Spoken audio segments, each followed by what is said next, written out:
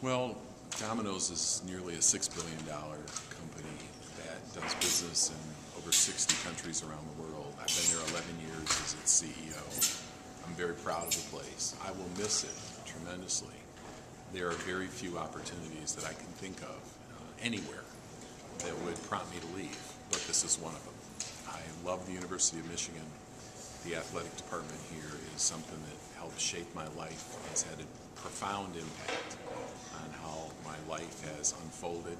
The things I've learned here and the doors that it opened for me um, are something that I greatly respect and feel very appreciative of. So the idea that I can come back here and help lead this department and, and do some of the things that will hopefully allow us to continue the tradition of, of being, you know, a great logo, a great brand, fielding great teams, winning championships, educating and providing opportunities to a lot of student athletes who go on to do great things in life. If I can be a part of that on a day in and day out basis, I can think of nothing that I would rather do.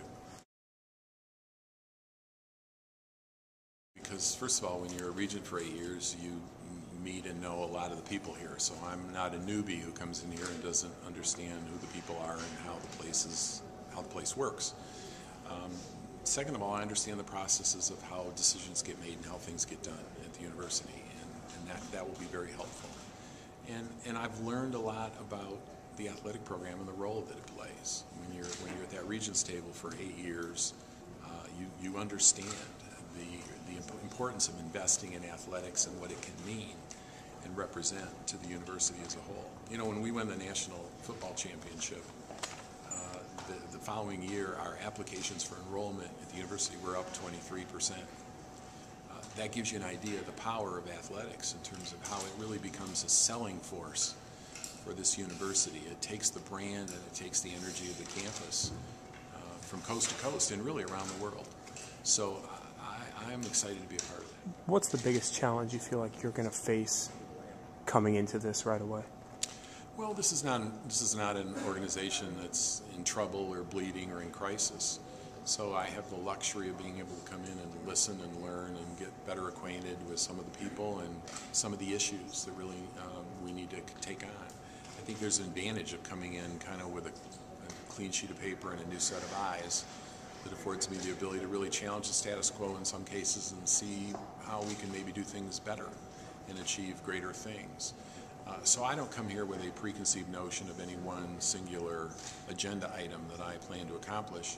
One of the things that we'll do very initially is work on a, on a strategic plan and establish the real mission and goals and measurable, measurable outcomes that we want to see.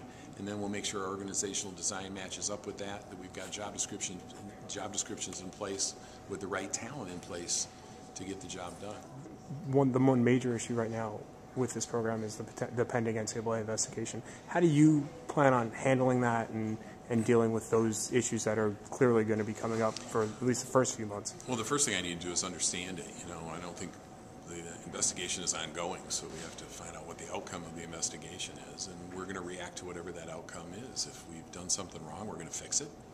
Uh, we're going to be stand up about it, and you know, we'll we'll put the put the systems in place to make sure that we don't make the same mistake twice. Uh, but I think it would be premature for me to try to guess what the outcome of this is going to be. I haven't been briefed on it and probably won't be until I get in this job. So uh, we'll deal with it.